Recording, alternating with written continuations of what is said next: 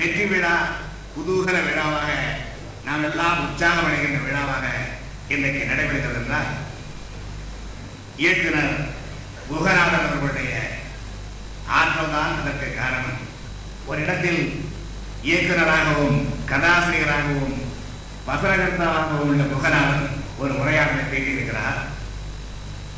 இல்லாதவன் பொல்லாதவனாகும் போதுதான் சொல்லாமலே சொல்வது இந்த உரையாடல் என்னை மிகவும் கவர்ந்த உரையாடல்.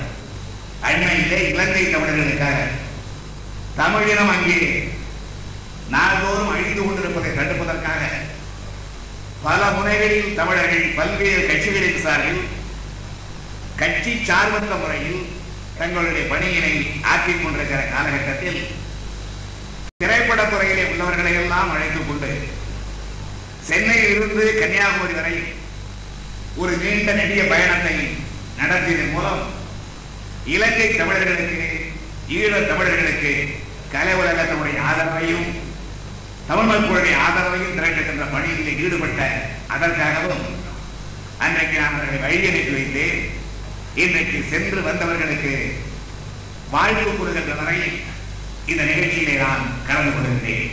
இந்த சூழலிலும் ஒரு வெற்றிகரமான படத்தை தர முடியும். என் நம்பிக்கையோடு முகநாதன் இந்த படத்தை நமக்கெல்லாம் தந்திருக்கின்றார். தமிழ் திரையுலகத்திற்கு அவர் தொடர்ந்து விளங்கிட வேண்டும் என்று கேட்டுக்கொள்கிறேன்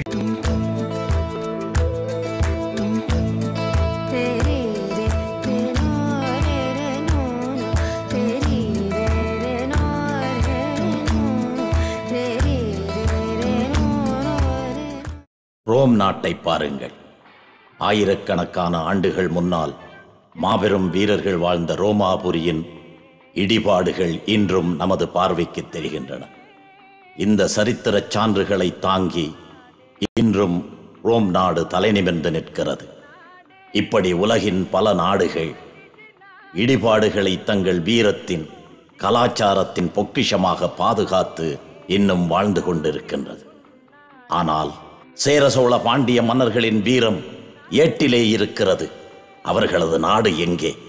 மொழியையும் கலாச்சாரத்தையும் கலையையும் உலகத்துக்கு முதலில் சொன்ன மூத்த குடி தமிழ்க்குடி இப்போது யார் மீதும் நாம் ஆதிக்கம் செலுத்தவோ எந்த நிலத்தையும் அபகரிக்கவோ நாம் விரும்பவில்லை. நாம் இழந்த நமது மண்ணை மீட்டெடுக்கத்தான் விரும்புகிறோம். நாம் பறிகொடுக்க எத்தனையோ எட்டப்பர்கள்தான் காக்கை வன்னியர்கள்தான் காரணமாக இருந்தார்கள்.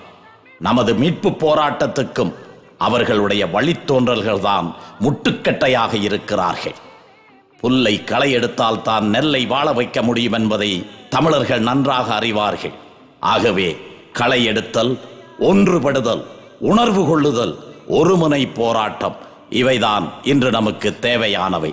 அந்த பெருமுயற்சிக்கு இந்த நெருப்பு விதை முதல் காணிக்கையாக உங்கள் முன்னால் மலர்கிறது.